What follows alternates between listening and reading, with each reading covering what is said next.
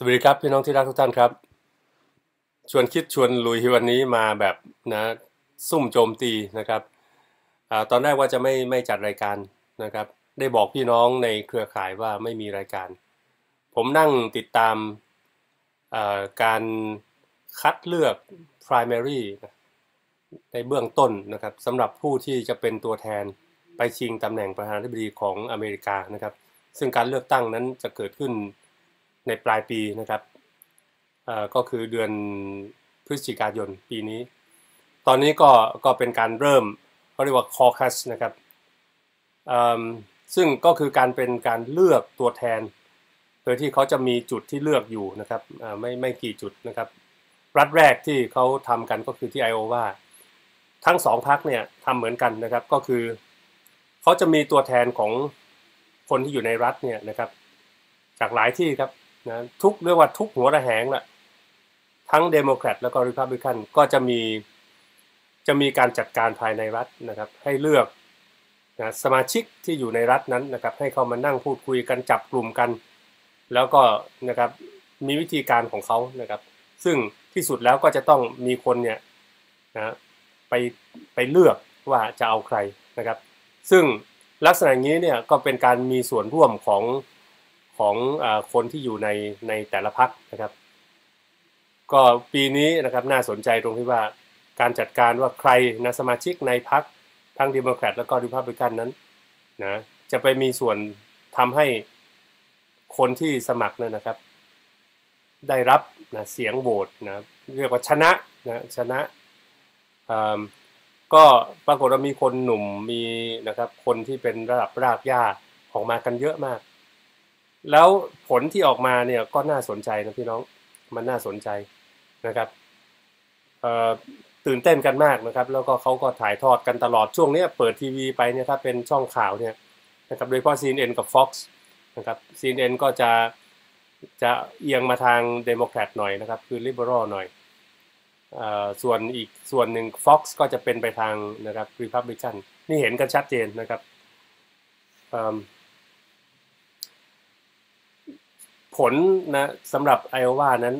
ออกมาน่าสนใจมากนะครับ ผมนั่งติดตามอยู่ตั้งแต่หัวค่ำนะครับ จนถึงตอนนี้สามทุ่มจะครึ่งนะครับ ก็รายงานให้พี่น้องทราบนะครับว่าวันนี้เนี่ยนะทางฝั่งริพับลิกันซึ่งตอนนี้เป็นฝ่ายค้านอยู่นะฮะก็มีคนสมัครอยู่หลายคนครับ แต่ว่าตัวที่เป็น frontrunner จริง ๆ เนี่ยนะที่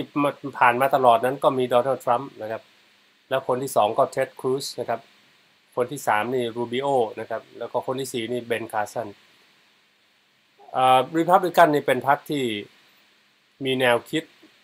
ค่อนข้างจะอนุรักษ์นิยมนะครับ ก็ต้องถือว่าก็ประมาณว่าสังคมอเมริกันที่เป็นแบบอเมริกันได้เนี่ยนะก็ต้องนับถือศาสนาหน่อยนะถือค่านิยมแบบอเมริกันดั้งเดิมนะครับ ซึ่งถ้าว่าไปก็คือค่านิยมที่คนขาวนะเขาถือกันในที่ต่างๆนั่นเองนะครับ ก็เรียกว่าถ้าเป็นเรื่องของความเป็นอเมริกันที่ยิ่งใหญ่แล้วเนี่ยนะนโยบายในเรื่องของการเผชิญหน้ากับชาวโลกนั้นก็จะเป็นแบบบุชแบบอะไรอย่างเงี้ยนะครับ ก็คือนะใครจะมาแย้มด้วยไม่ได้นะครับ ไม่ต้องไปสนใจนะก็ก็ประมาณนั้นนะครับเอ่อแล้วก็อีกส่วนหนึ่งก็คือเป็นพรรคที่ค่อนข้างจะเน้นนโยบายที่ที่นะปกป้องผลประโยชน์ของคนรวยนะครับ มาก มากเป็นพิเศษว่างั้นเถอะ แล้วก็พักนี้ก็จะได้รับการสนับสนับสนุนจากนะพวกคนรวยที่ที่โดยเฉพาะยิ่งก็เป็นผิวขาวถ้าว่าตรงๆนะถ้าเอาแบบพูดง่าย ๆ แต่ในนั้นมีทุกหมู่ทุกเหล่าแล้วครับนะเน้นความเป็นชาตินิยมนะอะไรประมาณนั้นนะครับ นั่นก็ริพับลิกันปรากฏว่าปีนี้เนี่ยนะครับตัวที่มาแรงมากก็คือโดนัลด์ทรัมป์ซึ่งโดนัลด์ทรัมป์นี่จริงๆเนี่ยนะครับ ลักษณะเขานั้นมันไม่เชิง conservative เพราะว่าแกมาจากนิวยอร์กเนี่ยแล้วตัวแกเป็นนักธุรกิจนะครับ จะเป็น conservative ได้จริง ๆ ก็ก็คือลักษณะของการเป็นนักธุรกิจนั่นแหละเนะเป็นนายทุนระดับใหญ่ ๆนะครับแต่ว่าปรากฏว่านะการเข้ามาของแกนั้นทำให้เกิดกระแสอย่างแรงเลย เพราะแกเป็นคนพูด conservative แบบตรงๆนะพูดตรงใจ conservative แล้วคนอเมริกันทั่วไป โดยเฉพาะอย่างในเรื่องนะผู้ก่อการร้ายอย่างเงี้ยนะบอกเอาเลยจัดการให้เด็ดขาดเรื่องเศรษฐกิจนี่ก็บอกว่าจะต้องนะไม่ให้ชาวโลกมาเอาเปรียบได้ ต้องสู้กับจีนต้องจัดการรัสเซียเอาให้อยู่หมัดอะไรประมาณนั้นนะครับ เป็นคนกล้าพูดแล้วก็สิ่งที่พูดนั้นผมพูดเรื่อง political correctness นะครับแกจะไม่พูดตรงใจคนทั่วไปที่คาดหวังว่าต้องสุภาพต้องไม่ไปแตะในส่วนที่เป็นอะไรที่มันเป็นนะสากลอะไรเงี้ยหรือว่าอะไรที่เป็นค่านิยม โดยพื้นพื้นโดยเฉพาะในเชิงประชาธิปไตยแล้วก็เสรีนิยมเนี่ยแต่แกก็จะพูดนะครับ เช่นไอ้พวกที่เข้าประเทศนะไม่ถูกต้องตามกฎหมายเนี่ยนะก็ต้องก็ต้องนะไล่ออกไปนะครับ แล้วจะเข้ามาก็มาต่อแถวเข้ามาใหม่อะไรเงี้ยนะครับ หรือเรื่องปืนเนี่ยนะครับ ก็ถือว่าเนี่ยใครจะเอาปืนไปไม่ได้นะครับ second amendment นะครับ เพราะฉะนั้นโอบามาที่พยายามจะตรวจแบ็กกราวด์ทั้งหลายเนี่ยนะครับ เดี๋ยวมันก็จะเอาปืนเราไปหรอกเนี่ยก็จะอยู่ประมาณนี้ครับ นะนี่ก็คือทรัมป์แต่ทรัมป์เป็นคนพูดตรงนะครับ แต่ตรงนั่นมันมันก็ไปตรงใจคนหลายคนแม้ว่า ในเชิงคนที่เป็นนักวิชาการเป็นนักสิทธิมนุษยชนเนี่ยก็อาจจะไม่พอใจนักนะครับเพราะสังคมอเมริกันนั้นมันก็มีค่านิยมในเรื่องของการนับถือความหลากหลายนะครับ การเคารพหลักสิทธิมนุษยชนการต้องคำนึงถึงจิตใจของผู้คนนะซึ่ง ได้รับความทุกข์ร้อนนะครับ อย่างเรื่องนโยบาย refugees นะครับผู้อพยพเนี่ยถ้าเป็นทางริพับลิกันเนี่ยก็จะบอกว่าเฮ้ยนะเราก็ลำบากของเราอยู่แล้วถ้าเข้ามาแล้วมีปัญหาเอามาทำไมก็หยุดไว้ก่อนนะครับ หยุดไว้ก่อนนะก็จะเป็นอย่างนั้น แล้วก็ทรัมป์นี่ก็น่าจะตรงประมาณนั้น ก็ก็ได้รับกระแสมา แต่ว่าการที่เขานะโครงอะไรเกินไปมั่นใจตัวเองเกินไปนะครับเอ่อก็ก็มันอาจจะเป็นผลทำให้หลายคนนะครับ รู้สึกว่าเอ๊ะ กล้าเสี่ยงหรือเปล่าอะไรเงี้ย แต่คนที่ทนไม่ไหวแล้วนะครับ ทนกับภาพบาดตาบาดใจไม่ไหวนะครับ อย่างเรื่องนโยบายทางโอบามาแคร์เนี่ยโอบามาก็พยายามใช้เป็นแบบไทยเราเนี่ยนะแต่มันคนละแบบกันเลย คือให้คนทั่วไปทุกคนได้รับการประกันสุขภาพทั้งหมดนะครับแต่ว่าคนรวยก็บอกโอ้โหถ้าคนมีเงินมีทองต้องจ่ายค่าประกันสุขภาพแพงมาก แต่ถ้าคนจนนี่ถ้าไม่มีตังก็ไม่เสียเลย แต่ได้สิทธิ์นะครับ ส่วนคนที่มีรายได้ปานกลางไม่มากเนี่ยก็จะลำบากเพราะว่ามันมันมหาศาลยกเว้นคนที่ทำงานกับบริษัทต่างๆนะครับ จ่ายเงินเดือนหนึ่งนี่ครอบครัวหนึ่งเป็นพันๆเหรียญนะพี่น้องนะเป็นพันๆเหรียญก็คือหลายหมื่นบาทนะครับ ต่อเดือนนะไม่ใช่ต่อปีนะครับ ต่อเดือน ก็เป็นเรื่องที่ถกเถียงกันอยู่ ทีนี้คนที่สองที่ขึ้นมาเนี่ยนะครับเชดครูซนะครับนี่เป็น เรียกว่าเรียนหนังสือนะครับ ก็ก็มหาลัยระดับไอวิลีกเรียนพรินสตันนะครับก็ก็ต้องถือว่านะเป็นหน้าเป็นตา แล้วก็ค่อนข้างจะเป็นคนที่นะอ้างอิงเรื่องศาสนาอีแวนเจลิโกศาสนาคริสต์นั่นแหละนะครับ พ่อก็เป็นนักบวชนะครับ แต่ว่าแม่เป็นคนเป็นคนอเมริกานี่แหละ แต่พ่อรู้สึกจะเป็นนะครับทางแคนา Canadian นะครับ ก็ไปอยู่ที่อเมริกาแล้วเกิดที่เกิดที่แคนาดาแล้วก็มาโตอะไรที่แถวนี่นะที่อเมริกานี่แหละนะครับเท็กซัสนะก็เข้าใจว่าไม่ผิดนะเท็กซัสนะครับเท็ดครูซก็ก่อนที่ไอโอวาในที่แรกเนี่ยก็จะเป็นในเรื่องของอการแสดงตัวว่าเป็น conservative เป็นคนที่นับถือพระเจ้านับถือศาสนา เพราะว่าไอ้พวกนะที่ เขามีจิตใจใฝ่ทางด้านศาสนาเนี่ยจะอยู่เยอะหน่อยจะมีอิทธิพลสูงนะครับค่านิยมแบบอเมริกันเนี่ยต้องพระเจ้าไว้ก่อนอะไรเงี้ยนะครับ ก็พอมีการต่อสู้กันมาเนี่ยไอ้เรื่องการเลือกผู้สมัครเบื้องต้นเนี่ยเขาไม่ใช่อยู่ก็เลือกเลยนะฮะเขาก็จะต้องให้มีการให้ข้อมูล ให้มีการพูดให้มีอะไร ทั้งสองพรรคก็เป็นเหมือนกันนะคนที่จะเข้าไปแล้วก็มีสิทธิ์มาโหวตอะไรได้ ไม่ใช่ใครอยากจะโหวตก็เดินเข้าไปโหวตนะ มันก็ต้องมีการจัดการแบ่งตัวแทนมาจากตรงนั้นตรงนี้มาพูดคุยกันจับกลุ่มกัน แล้วเข้าไปฟังให้ตัวแทนผู้สมัครแต่ละฝ่ายนั้นเข้ามาพูดให้ฟัง แล้วก็เอามานั่งถกกันที่สุดก็ตัดสินใจในนามของกลุ่มนั้นนะว่าจะเลือกใคร ก็ปรากฏว่านะคือพับลิกันปีนี้นะครับ เหมือนโดนัลด์ทรัมป์จะรู้ว่ารัฐนี้คงกินมันยากเพราะว่าตัวแกเองก็ไม่ใช่คนนับถือศาสนาอะไรมาก ถ้าไปพูดเรื่องศาสนานี่ก็จะผิดนะก็จะเสลอนะครับแสดงอะไรที่ นะที่อาจจะไม่นะไม่ไม่ได้คะแนนมากแต่ขณะเดียวกันขณะนั้นก็ก็ถือว่าได้คะแนนเยอะนะเท็ดครูซก็ชนะไปครับรูบิโอนี่ไล่จี้มาติดๆเลยนะครับ ไล่จี้ขึ้นมาติดๆนั่นเป็นคนประมาณ Hispanic นะครับออกเป็นประมาณนะพ่อแม่เป็นผู้อพยพเข้ามาอยู่ในประเทศไทย แล้วก็ค่อนข้างจะมีนโยบายที่ถ้าว่ากันตรงก็คือน่าสนใจอะคนรูบิโอเนี่ยอายุก็ประมาณพอๆกับเท็ดครูซ45 เนี่ยนะ ฉาดฉานแล้วก็นโยบายเนี่ยจริงๆนะถ้าไปสู้กับทางริพับลิกันกับเดโมแครตเนี่ยก็ถือว่าหลายส่วนนี่ใกล้ใกล้เคียงที่สุดนะครับแต่ว่าก็นะครับกลายเป็นว่าเท็ดครูซมาอันดับหนึ่งได้ประมาณ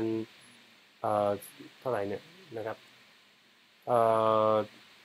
ยี่สิบแปดเปอร์เซ็นต์ถ้าจำไม่ผิดนะนะครับแล้วก็โดนัลด์ทรัมป์ได้ยี่สิบสี่นะครับส่วน รูบิโอเนี่ยได้ยี่สิบสามเปอร์เซ็นต์นะครับ ส่วนเบนคาร์สันซึ่งเป็นอาจารย์คนดำนะครับ ซึ่งเก่งมากนักผ่าตัดสมองเนี่ยนะ แต่ว่าแกท่าท่าทางแกไม่ค่อยคล่องเหมือนกับพูดไม่ค่อยชัดถ้อยชัดคำแล้วก็บุคลิกแบบนิ่งๆนะครับ เหมือนคนเหมือนคนไม่ฉลาดมากนะไม่ไม่คล่องอะเป็นนักการเมืองไม่ได้เพราะงั้นก็ได้เก้าเปอร์เซ็นต์นะครับอ๋อก็เป็นว่าอันแรกเนี่ยนะครับครูสชนะไปละ แต่สิ่งที่น่าสนใจก็คือวันนี้เนี่ยนะครับโดนัลด์ทรัมป์ที่เข้ามาเด่นๆเนี่ยก็เพราะว่าเขามีจุดขายตรงที่ว่าเป็นนักธุรกิจที่ไม่เคยอยู่ในการเมืองจริง ๆ มาก่อนนะครับ แล้วก็พอมาเป็นนักการเมืองเนี่ยออพอมาสมัครเนี่ยเขาก็มีความสดอยู่นะครับไม่ได้เป็นเซนเตอร์ ไม่ได้อะไรทั้งสิ้นเลยนะครับ กระโดดเข้ามาเนี่ยแล้วก็มาก็สร้างสีสันได้เยอะเลยนะครับส่วนเท็ดครูซก็ จริง ๆ ก็เป็นเซนเตอร์เป็นอะไรอยู่ในนี้นะอยู่ในการเมืองมานานพอสมควรนะแต่วันนี้นะทุกคนพยายามจะพูดตรงกันว่า establishment นะคือไอ้ตัวไอ้พวกที่อยู่ในอำนาจฝังรากมานาน เป็นนักการเมืองอยู่นานๆเนี่ยนะนะทำให้ไปอเมริกาแก้ปัญหาไม่ได้ พวกนี้รูปหน้าป่าจมูก แล้วก็นะเล่นเกมรู้กันจนกระทั่งมันไม่มีอะไรที่จะ move America forward ได้นะครับ ก็คือจะจะให้นะจะ ทำให้อเมริกาดีกว่าเดิมยาก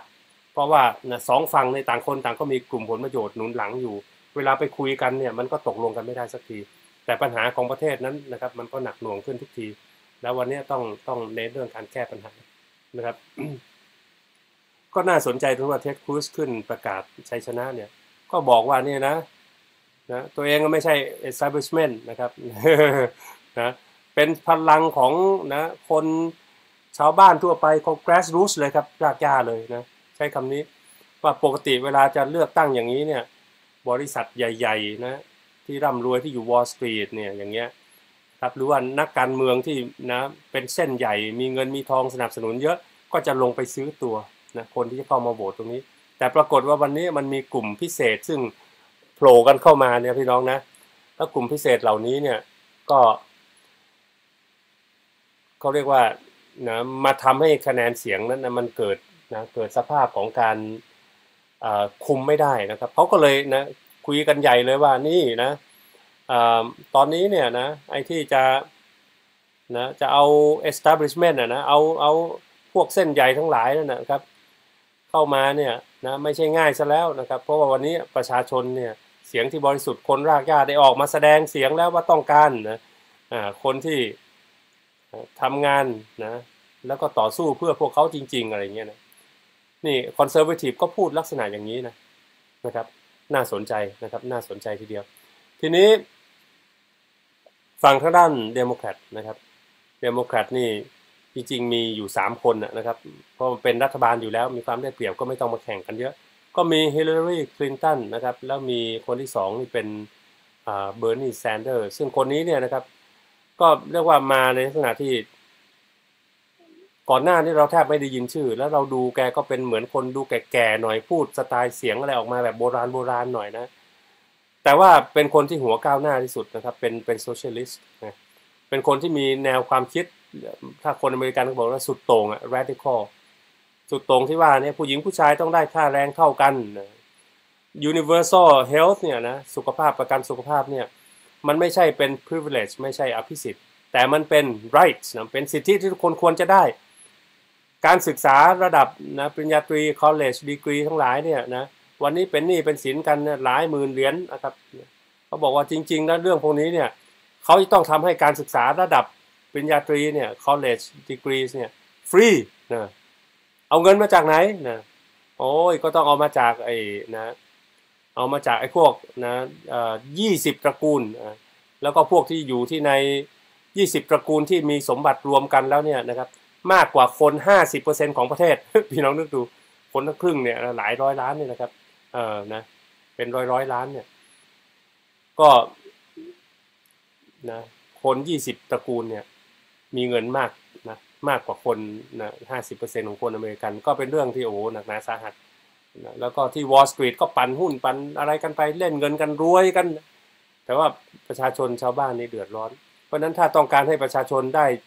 นะประกันสุขภาพอย่างอย่างดีนะครับ ก็ต้อง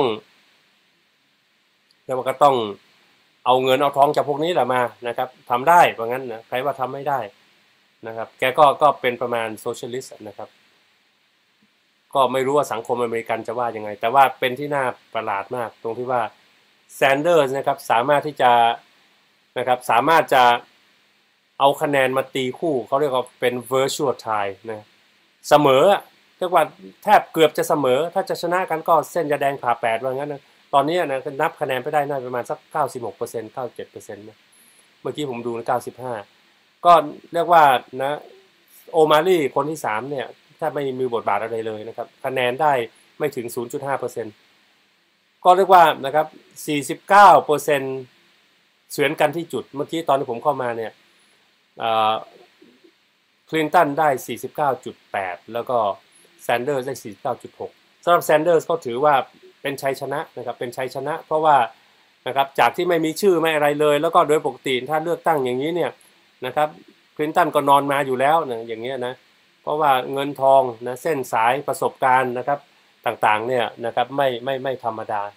นะครับ ก็สามารถที่จะนะกำหนดทิศทางนะครับ ไปชี้เอาตัวคนนั้นคนนี้มานะครับ ก็รู้จักเส้นใหญ่อยู่ในอำนาจมานานนะก็จะสามารถกำหนดผลได้ แต่ครั้งนี้มันไม่ใช่นะทั้งคู่ยังไม่ได้ประกาศชัยชนะฮิลลารีเองก็ขึ้นมาพูดก็ประมาณว่าเนี่ยแกไม่ใช่ establishment ที่อยู่แล้วนะครับไม่ไม่มีปัญญาทำงาน แกน่ะอยู่มานานแล้วมีประสบการณ์และสู้มาตลอด แล้วยอมไม่ได้กับการที่จะปล่อยให้ค่านิยมที่ทำให้ประเทศอเมริกาเป็นอย่างประเทศอเมริกาในฝันของทุกคนนะครับ ก็คือเรียกว่าอุดมการณ์ของการตั้งพรรคเดโมแครตนั่นแหละนะครับ เรื่องของ universal human rights เออไม่ใช่เอ่อ health care การเรียกว่าให้สิทธิ์คนยากคนจนให้ความเท่าเทียมกันของนะเพศต่างๆ แล้วก็เรื่องปืนนะครับเนี่ยต้องดูแลกันอย่างสมเหตุสมผลอะไรเงี้ย ต้อบอกเนี่ยเธออยู่มาแล้วก็ยืนยันว่าจะรักษาจุดยืนเหล่านี้ แล้วก็รู้ว่าจะทํำยังไงนะก็คืนนี้รู้สึกจะพูดดีหน่อยตาไม่ค่อยเมือค่อยลอยเท่าไหร่ แล้วก็ดูจริงจังมากขึ้น แต่ว่านะ อันนี้ก็ก็เดี๋ยวผลมันเนี่ยเดี๋ยวจะต้องยืนยันกันมาอีกที แต่นี่คือนะครับคอคัสอันแรกนะครับ เดี๋ยวมันจะมีต่อที่นิวเขาจะนิวแฮมเชียร์นะอันที่2นะครับก็ทุกคนก็เร่งรีบพูดแล้วก็พรุ่งนี้ก็ไปเจอผู้คนอีกนะครับ แล้วก็ทั้งสัปดาห์เนี่ยก็ต้องตระเวนพูดกับผู้คน สนุกนะครับ อเมริกาในการเมืองเขาประชาชนก็มีส่วนร่วมจริง ๆ แล้วนโยบายที่พูดเนี่ยนะครับมันเป็นตัวผูกมัดนะครับแล้วประชาชนเขาเนี่ยเขาก็เลือกกันที่นโยบาย เพราะฉะนั้นเนี่ยคนที่จะมีอำนาจมีตำแหน่งอะไรได้เนี่ยนะครับก็ต้องเสนอนโยบายที่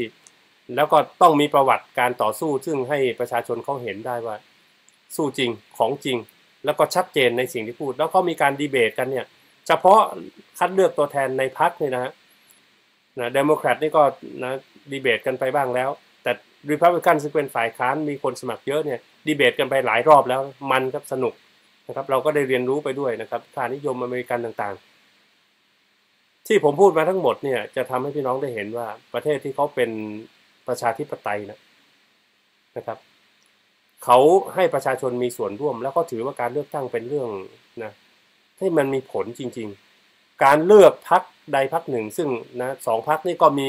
ร่องรอยชัดเจนนะครับร่องรอยชัดเจน ก็คือการพิทักษ์ผลประโยชน์ให้กับกลุ่มต่างๆนั่นแหละไม่รู้ว่าจะเป็นใครละนะครับถ้าริพับลิกันนี่ก็นะครับเขาก็บอกว่านะคนอเมริกันทั้งหมดนั่นแหละ แต่ว่าต้องเป็นค่านิยมแบบอเมริกันนะครับแล้วก็บังเอิญว่าโดยร่องรอยมาแล้วก็จะเป็นลักษณะไม่ค่อยเป็นมิตรกับชาวโลกเท่าไหร่ ไม่ค่อยเป็นมิตรกับนะคนต่างชาติที่มาอยู่ในนี้เท่าไหร่ คือค่านิยมของความเป็นชาตินิยมสูง นะครับ แล้วก็คนยากคนจนบังเอิญว่ามันนะครับ ก็เป็นเรียกว่าเป็นผู้ลี้ภัยมาหรือผู้อพยพมา หรือว่าเป็นคนที่นะตกขอบไปนะแล้วคนที่อยู่ดีกินดีแล้วเป็นชนชั้นกลาง แล้วก็รู้สึกว่าไม่อยากจะเสียในส่วนของตัวเองที่ต้องทำงานหนักนะนะก็เป็นการต่อสู้กันในเชิง ideology นะครับในเชิงนะครับ ความคิดอุดมคตินะครับ แล้วก็แนวทางการปฏิบัติสู่สู่ไปสู่สังคมที่วาดหวังเอาไว้นะครับ ก็เป็นเรื่องนะที่อยู่แล้วเนี่ยเราก็รู้สึกนะครับเป็นเรื่องดี เพราะประชาชนเขามีส่วนร่วม แล้วก็โอ้โหเขาทำเป็น process ยาวมากครับนะนี่นี่ล่วงหน้ากันเป็นเกินกว่าปีครับตั้งแต่ปลายปีที่แล้วมาแล้วนะครับ เนี่ยค่อนมานะก็นี่คือประเทศที่เจริญแล้ว แต่บ้านเราวันนี้เขียนรัฐธรรมนูญออกมาเป็นยังไงพี่น้อง นะครับ ตัวแทนประชาชนเนี่ยนะเขาจะไม่ให้นะประชาชนนี้เลือกแล้วก็สามารถจะเป็นตัวตัดสินได้นะชัดเจนมากๆ ซึ่งผมได้วิเคราะห์ไปเมื่อวันก่อนนะครับกรอบที่วันนี้ก็มีคนออกมาวิเคราะห์กันเต็มไปหมด ก็หนีไม่พ้นตรงนี้ก็คือนะครับเขาเขียนรัฐธรรมนูญเพื่อจะต่ออำนาจ เพื่อจะจัดการไม่ให้ประชาชนนั้น สามารถจะใช้อำนาจของตัวเองผ่านตัวแทนได้นะครับเขาจะอยู่ครอบหัวประชาชน โดยนะครับสร้างกลไกอำนาจที่สามารถจะอยู่ซึ่งไปอยู่ในข่ายตุลาการ ซึ่งมันไม่ผูกโยงกับประชาชนเลยเนี่ยสามารถจะเข้ามาครอบงำบีบบังคับกดดัน แล้วก็ชี้นิ้ว แล้วก็ปลด ผู้แทนที่มาจากประชาชน ทั้งที่ไปเป็นรัฐบาลนะครับคือคณะรัฐมนตรี และทั้งที่ไปเป็นสสซึ่งมาจากการเลือกตั้งนะครับ มีหน้าที่ไปออกกฎหมายเนี่ย โดยการคุมสสนั้นนะครับนอกจากกฎระเบียบที่ยิบย่อย แล้วก็มีองค์กรอิสระสามารถจะมาปลดนะครับตั้งแต่ก่อนจะเลือกตั้งเข้าไปเนี่ยนะครับนะต้องผ่านด่านกกตพอเข้าไปปุ๊บจะทำอะไรเนี่ยยากมากจะลงไปช่วยพี่น้องประชาชนนะครับจะตัดสินใจแก้ปัญหาต่างๆเนี่ยมันเอาองค์กรอิสระเนี่ยมาวางกันไว้หมดนะครับ ส่วนนะทางด้านรัฐบาลเองนะครับ เรียกว่าแทบจะไม่มีศักดิ์ศรีอะไรมากมายนะครับทำอะไรลำบากมาก เพราะว่าการจะลงไปหาที่ต่างๆ การจะไปแทรกแซงระบบราชการเขากันไว้หมด กันไว้หมดนะครับเขาก็อ้างว่านะครับเเพื่อกันการโกง แต่ว่าเท่าที่ดูนั้น จะทำให้นักการเมืองนั้นอ่อนแอไม่มีประโยชน์ไม่มีค่า ไม่สามารถจะทำอะไรได้ คิดนโยบายที่ดีได้นะครับ ก็มีสิทธิ์จะโดนเหมือนที่คุณยิ่งรักโดนวันนี้เขาเขียนไว้ยิ่งชัดเจนนะครับ เพราะฉะนั้นประเทศไทยเราเนี่ยนะครับเราจะหวังอะไรจากการเลือกตั้งข้างหน้าไม่ได้เลย เพราะว่านะหลังจากต่อให้ได้คะแนนเสียงเข้าไปเยอะๆนะเกินครึ่งหนึ่งเนี่ยก็ปรากฏจะต้องนะ ซึ่งวันนี้ก็ยากแล้วจะให้ได้เกินครึ่งหนึ่งเนี่ยเพราะว่าส่วนที่เลือกตั้ง 350 เจอไปอีก 150 ซึ่งนะครับว่าไปแล้วก็นะครับมันตัดใช้วิธีตัดกำลังพักที่เป็นที่นิยมเนี่ยโดยที่พอชนะนะชนะแล้วเนี่ยนะฮะ จากหน่วยเลือกตั้งแล้วเนี่ยพอมาคำนวณจากตัวคะแนนอะไรทั้งหมดแล้วเนี่ยนะครับแล้วไปหารคะแนนทั้งหมดที่ได้ทั่วประเทศเนี่ยเอามารวมแล้วก็หารด้วย 500 แล้วก็มาดูว่าควรจะได้สิทธิ์เท่าไหร่จากจำนวนคะแนนเสียงตัวเองเนี่ยมันตอนมาเป็นอ่ามาเป็นเอ่อก็เรียกว่าพอมาเป็นการนับบัญชีรายชื่อเนี่ยแทนที่จะได้นะตามจำนวนเยอะๆนะครับเอาเฉพาะบัญชีรายชื่อมานับรวม แล้วก็นะครับก็ว่ากันไปว่าควรจะได้เท่าไหร่ ปรากฏต้องเอามารวมคะแนนทั้งหมด แล้วก็พอหารไปหารมาแล้วปุ๊บเนี่ยนะครับ มันก็จะไปเจอเพดานตรงที่ว่า ถ้านะครับจำนวนสสเขตนั้นได้นะได้เยอะแล้วนะครับ คือถึงเพดานจากการคำนวณเสียงของประชาชนแล้วเนี่ยคะแนนเสียงนั้นจะเขาจะไม่ได้อีก มันจะต้องตกไปเป็นของพรรคอื่นแปลว่าจะเกินนั้นไม่ได้เหมือนกันเถอะ นะครับเกินนั้นไม่ได้นะเขาเรียกตัดกำลัง ยังไม่พออีกนะครับ สวเนี่ยนะครับอีกร้อยห้าสิบเออสองร้อยคนเนี่ยซึ่งเมื่อก่อนวันก่อนผมพูดไป ไม่ได้มาจากการเลือกตั้งโดยตรงครับ มันเลือกกันเองนะครับ มันเลือกกันเอง เพราะฉะนั้นเมื่อรวมกันแล้วเนี่ยเจ็ดร้อยนะถ้าเวลาต้องตัดสินเรื่องใหญ่ๆ เช่นการแก้รัฐธรรมนูญเนี่ยทั้งสามวาระก็กินฝืดอยู่แล้วนะครับ แล้วเรื่องการจะเปลี่ยนกฎหมายการทั้งหมดนี้ก็ลำบากมีเงื่อนไขเต็มไปหมด เปลี่ยนระบอบการปกครองไม่ได้ แต่ต้องในเรื่องนโยบายทุกอย่างเนี่ยตีความไปแล้วเนี่ยถ้ามันจะเล่นแง่อะไรเนี่ยไม่สามารถจะไปได้เลยนะครับ เพราะว่าคนจำนวนแค่หนึ่งในสิบนะครับเนี่ยของสภาก็สามารถจะยื่นเรื่องขอให้มีการพิจารณาโน่นนั้นนี่ตีชงไปให้นะหลาย ๆ ที่ปปชนะครับ หรือว่าจะให้สารรัฐมนูญนะครับ อะไรก็แล้วแต่นะครับ ซึ่งเราได้เห็นมาแล้วในยุคคุณยิ่งรักตบหัวลงมานี่ก็ทำอะไรไม่ได้นะตัวเลขเจ็ดร้อยนี่พี่น้อง ห้าร้อยเนี่ยนะครับมันจะหาพักที่ได้ได้เกินสองร้อยห้าสิบเนี่ยยากมาก ยากมากๆนะครับ โดยเฉพาะยิ่งในภาวะที่เขาจะตัดสิทธินักการเมืองนะใช้กฎใช้กติกาห้ามลงเลือกตั้ง เพราะว่าติดคดีโน่นนั่นนี่นะแค่จะได้สองห้าร้อยสองร้อยห้าสิบก็ยากแล้วนะครับ ทั้งจากห้าร้อยนะ สมมุติว่าบังเอิญได้สักสองร้อยหกสิบนะครับ และไอ้ส่วนที่เหลือในสองร้อยสี่สิบใช่ไหมครับ แล้วไปบวกกับสวอีกสองร้อยเป็นสี่ร้อยสี่สิบสองร้อยหกสิบยังไงก็ไปสู้สี่ร้อยกว่าไม่ได้ พี่น้องเห็นไหมต่อให้ได้มากกว่านี้รวมพักอื่นเข้ามาด้วยเป็นคณะพักร่วมเขาก็เปิดโอกาสให้มีการที่จะเป็นงูเห่าย้ายพักหนีพักอะไรเนี่ยง่ายมาก โอ้เมืองไทยเรานี่เรียกว่า ไม่ใช่ว่าเราเนี่ยนะครับ การเลือกตั้งเนี่ยนะครับ เราเราจะหวังได้ยากนะซึ่งในตรงนี้เนี่ยมันก็ยากจริง ๆนะครับ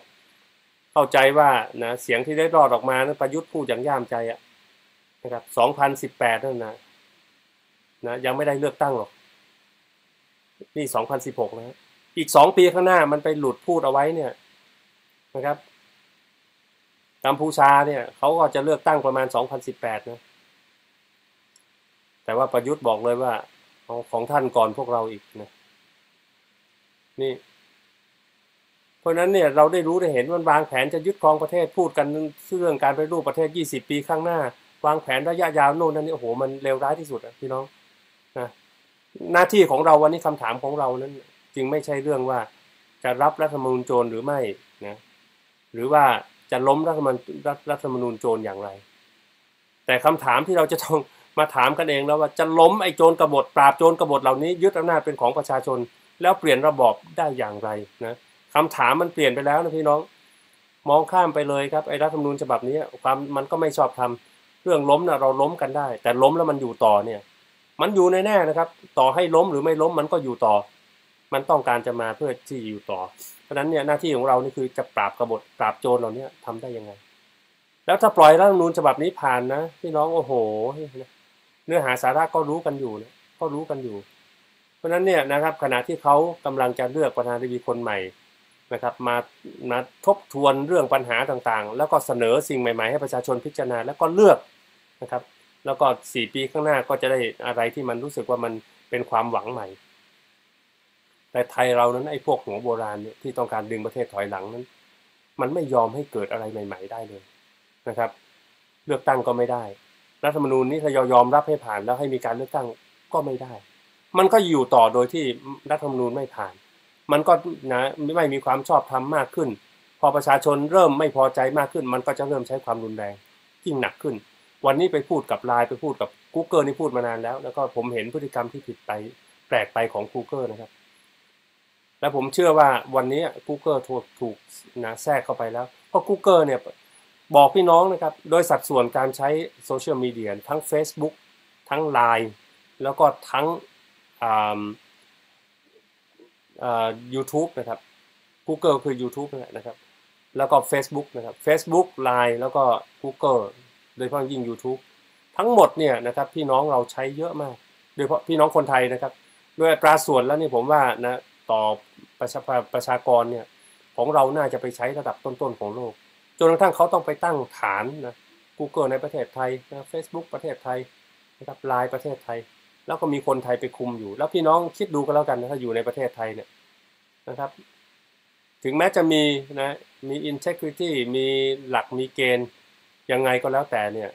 อิทธิพลของเจ้าไทยเนี่ยมันไม่มันมันมันครอบอยู่แล้วในเมืองไทย แต่วันนี้มันจะพยายามมาครอบที่เมืองนอกนะครับ แล้วมันจะเล่นเขาทุกอย่าง จะเล่นแม้กระทั่งนะครับ หาทางนะครับให้เขามาเสียภาษีนะครับ บอกว่าที่ ให้มีการโฆษณามีทั้งหมดนี่นะครับ คนที่ซื้อโฆษณาทั้งหมดที่สุดแล้วมันก็มาเกี่ยวเนื่องกับทางประเทศไทย แต่ไม่เคยได้เสียภาษีในประเทศไทยนี่ อย่างนี้นี่ต้องมาคุยกันหน่อย คือจะบีบเขาครับ แต่ว่าสิ่งที่เราเรียนรู้ได้จากตรงนี้คือว่าไอ้ประเด็จการเหล่านี้นะครับ จุดอ่อนมันอยู่ที่มันไม่ถูกต้องไม่ชอบธรรมแล้วสิ่งที่ผมพูดมาทั้งหมดนะเรื่องของประชาธิปไตยในอเมริกา แล้วความไม่เป็นประชาธิปไตยในประเทศไทย มันคือจุดเปราะที่สุด นะครับ ต่างชาติไปที่ไหนเขาก็จะไม่ยอมรับ แล้ววันนี้พลังของประชาชนก็ลุกขึ้นมาต่อสู้ขัดขืน แล้วพี่น้องต่างประเทศสำนักข่าวต่างๆ เขาก็รู้เท่าทันหมด จะไปหลอกเขาเนี่ยเหมือนสมัยอภิสิทธิ์หลอกยากนะครับ เพราะประยุทธ์เองก็พูดภาษาอังกฤษไม่ได้นะไอสถานทูตอะไรต่างๆนะก็มันก็เป็นแค่ขี้ทูตไปเกาเกาเกาเกาต่อหน้าเขาแล้วเขาก็ไม่ได้สนใจ เพราะเป็นคนที่รับใช้เผด็จการ จะพูดอย่างไรนั้น ราคามันก็ไม่มี วันนี้ขึ้นอยู่กับประชาชนเราพร้อมเมื่อไหร่กันนั้นนะพี่น้อง เราจะไม่สามารถจะไปเลือกประธานาธิบดีนะซึ่งเป็นผู้นำสูงสุด หรือไปเลือกคองเกรสนะครับหรือไปผู้ที่จะไปทำหน้าที่นิติบัญญัติ แล้วได้ผลตามที่เรามีเจตนารมณ์แล้วเราจะหวังให้คนที่เข้าไปนั้นนะครับ มาหาเสียงกับเราแล้วก็จะดันประเทศให้พ้นจากปัญหา ซึ่งก็คือการกินรวบของคนส่วนน้อยนะครับ บนความทุกข์ยากของคนส่วนใหญ่นั้นนะเราจะทำไม่สำเร็จ เพราะมันเขียนนกลไกเอาไว้ ไม่ยอมให้นะเราสามารถจะไปต่อรองอำนาจกับเขาได้ ไม่มีทางชนะว่างั้นเถอะนะครับ มันก็เหลือทางเดียวมันอยู่ต่อรัฐธรรมนูญไม่ผ่าน แล้วมันก็จะนะทำประเทศชาติเสียหายกันต่อไป วันนี้พี่น้องนะครับ ปัญหาในเรื่องการล้มรัฐธรรมนูญเป็นเรื่องต้องทำนะครับ แต่โจทย์สำคัญที่สุดไม่ได้อยู่แค่ตรงนั้น คุณจะยอมให้มันปกครองพวกคุณต่อไปหรือไม่ ตลอดไปหรือไม่ ถ้าไม่ยอม จะล้มมันผ่านการเลือกตั้ง เหมือนที่นักการเมืองเขาฝันเอาไว้ เป็นไปได้ไหมพี่น้องน่าจะตอบด้วยตัวเองได้นะครับ เพราะว่าเราก็ให้ความรู้ไปเยอะแล้วนะครับ ถ้าเอาตามระบบระบอบไม่ได้ ทางเลือกเหลืออะไรอยู่ ก็ต้องล้มอำนาจกัน ยึดลุกขึ้นมายึดอำนาจ แต่ถ้าเราลุกแบบที่ไม่มีการเตรียมการ ลุกแบบไม่มีเป้าหมาย ไม่มีการจัดการ ไม่มีความชัดเจนในสิ่งที่เราต้องการ แล้วก็ สิ่งที่จะเกิดขึ้นหลังจากที่ลุกฮือขึ้นมาแล้วนะครับ เราอาจจะตกไปเป็นนะเหยื่อของการใช้ความรุนแรงของเผด็จการ ทุกประเทศมันใช้ความรุนแรงกับประชาชนที่ลุกฮือขึ้นมา เพื่อต่อต้านอำนาจมัน เมื่อคืนผมได้พูดถึงนะครับ รากจริง ๆ มันเลย ถ้าจะเอาแบบ radically นะครับ เอาแบบสุดโต่งไปเลยเนี่ย การปฏิวัติก็ต้องล้มล้างนะกลไกอำนาจทั้งหมดของระบอบเผด็จการนี้นะครับ คือระบบกษัตริย์ ระบบทหาร ระบบข้าราชการ นะครับที่ไปรับใช้คนกลุ่มใดกลุ่มหนึ่ง มากกว่าที่มารับใช้ประชาชนนะครับ ระบบเศรษฐกิจที่ไม่เป็นธรรมวัฒนธรรมแห่งความงมงาย แล้วก็ถูกเอาไปใช้เป็นประโยชน์สำหรับการทำให้ประชาชนนั้นอ่อนแอนะครับ ซึ่งผมได้พูดถึงเรื่องรายการชิงช้าสวรรค์ไม่ทองคำความฝันของเราเนี่ยนะครับ เด็กเนี่ยแทนที่เอาเริ่มต้นจากเด็กแทนที่จะไปเรียนหนังสือเนี่ยพัฒนาตัวเองมีความฝันเต็มศักยภาพเต็มที่จะต้องมาร้องเพลงประกวดนะครับ เพื่อเอาเงินไปช่วยเหลือพ่อแม่ ศักยภาพของเด็กที่ฉลาดฉลาดก็กลายเป็นว่าไปอยู่กับเรื่องของนะครับความฝันที่จะหาเงินกันแบบนะโดยใช้พรสวรรค์ใช้ลูกคอที่ได้มาจากบ้านนอกบ้านทุ่งนี่แหละนะครับ แทนที่จะไปดูด้านอื่นๆ แทนที่จะพัฒนาศักยภาพของเด็กๆ ทั้งหลายทั่วประเทศ ให้ได้คิดถึงเรื่องการไปดาวอังคารนะครับ การสร้างเขาเรียกอะไรนะ innovation วัฒกรรมอะไรนะ innovations นวัตกรรมนวัตกรรมต่างๆ ก็กลายเป็นว่าความฝันอยู่แค่จะอยากจะเป็นนักร้อง แล้วพอไปอยู่ในสังคมแบบนั้นก็นะครับถูกดูถูกกลืนไปอยู่กับเรื่องนะครับนะให้ความสุขกันไปวันๆปลอบใจกันเรื่องความสุขให้ความสุข แต่ขณะที่จริง ๆ แล้วนั้นความสุขมันหาแท้จริงไม่ได้ เพราะโอกาสในการจะวิ่งเข้าหาความสุขนะครับ ซึ่งก็แปลว่าต้องมีปัจจัย 4 ครบ มีโอกาส มีเกียรติ มีเสรีภาพ มันถูกปล้นไปหมด